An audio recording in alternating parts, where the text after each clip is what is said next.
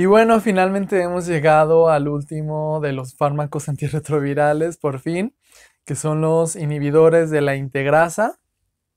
Ahorita les voy a platicar un poquito de qué se trata esto.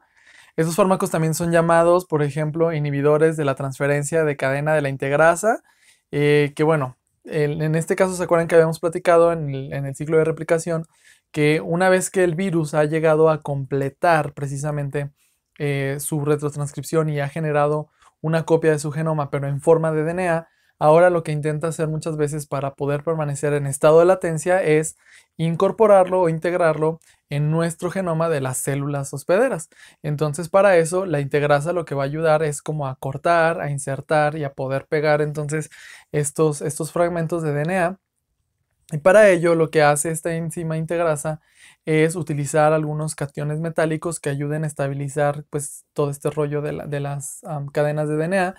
Y en este caso los inhibidores de la integrasa, esos cationes divalentes nos van a servir como diana farmacológica para eh, que pues a través de un efecto quelante pues lo secuestre y por lo tanto la integrasa no pueda disponer de, de ello, ¿sale?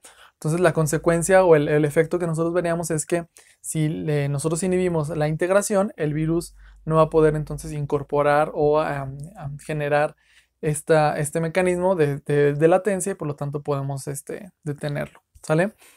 Estas son algunas estructuras de los fármacos que les voy a mencionar. Por lo general de este, tienen muy buena tolerancia, entonces no suelen tener muchos efectos adversos, más que algunas afectaciones gastrointestinales.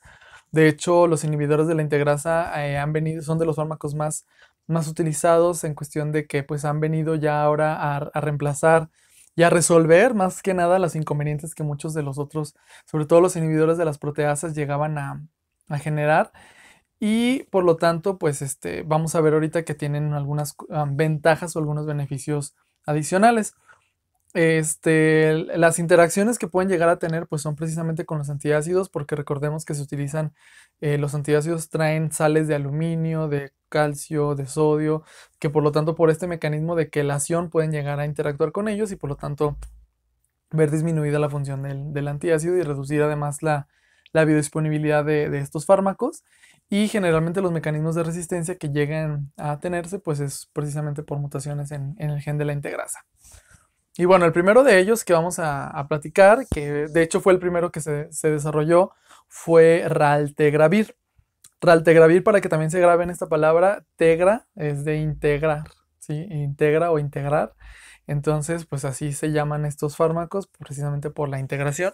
Y bueno, a diferencia de, este, de, los otros agentes antivirales, pues bueno, sabemos que el, metabolismo no va a ser precisamente por los por la isoforma o por los, las enzimas CYP450, sino que aquí va a ser por UGT1A1. ¿Sale?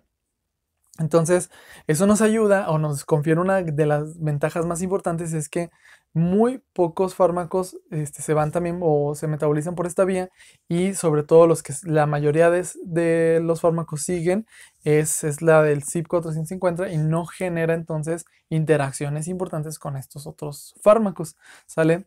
Se puede utilizar también en combinación con otros agentes antivirales, también para, tanto para pacientes que son vírgenes al tratamiento como los que ya han visto resistencia. Eh, y también se puede utilizar en el embarazo, sale seguro. Algunos efectos adversos que están asociados con raltegravir son elevación de la enzima creatina quinasa con algunas afectaciones musculares, dolor y rabdomiólisis y algunas afectaciones en sistema nervioso central que pueden llegar a generar depresión, pensamientos suicidas y algunas reacciones de hipersensibilidad que también se han llegado a reportar. Y los otros fármacos pues son el vitegravir y dolutegravir, que son fármacos pues que son como de, segunda generación por así decirlo, que prácticamente pues se comparten la característica de que estos sí se van a metabolizar por CYP3A4, y, pero también otra parte por el sistema de este um, uridin glucuronidil transferasas. Por lo tanto, pues ahí vamos a ver las interacciones, pues más o menos. ¿sí? Este, la ventaja contra el tegravir es que es más evidente que no hay interacciones y aquí así pueda, puede haber, por ejemplo, con rifampicina, carbamazepina, fenobarbital, etc.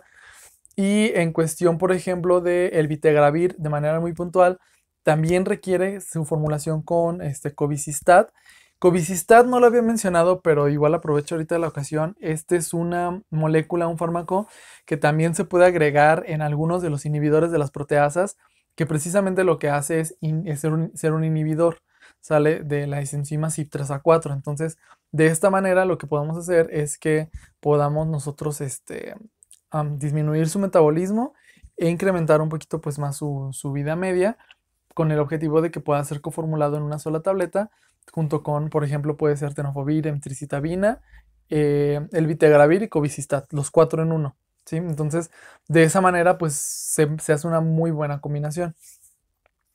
Y dolutegravir específicamente tiene la facilidad, por ejemplo, de ser administrado en una sola dosis, lo cual también eso nos lleva a un beneficio.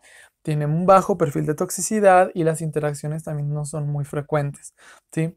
Se ha visto que eh, dolutegravir funciona muy bien para cepas que, eh, o virus que han sido muy resistentes, ¿sí? entonces tiene una muy buena barrera genética y una muy buena difusión en este, los tejidos. ¿Sale? El único inconveniente es que dolutegravir suele ser un inhibidor de una proteína de transporte renal que se llama OCT2 y por lo tanto puede esto desencadenar eh, que la creatinina no se secrete y se empieza a acumular y veríamos nosotros un incremento de creatinina. ¿Sale? Entonces, pero pues de ahí en más es lo único, ¿no? Entonces, estas son las alternativas que tenemos como fármacos integradores de la, perdón, inhibidores de la integrasa, ¿sale? Y pues en resumen, aquí tenemos todo, todos los mecanismos, los fármacos que impiden la entrada, que impiden la fusión, que impiden obviamente la retrotranscripción, que impiden la integración, que impiden la, proteólisis de la, del, virus, etcétera, etcétera, etcétera, ¿no? Para que entonces pues ahí lo, lo, resuman.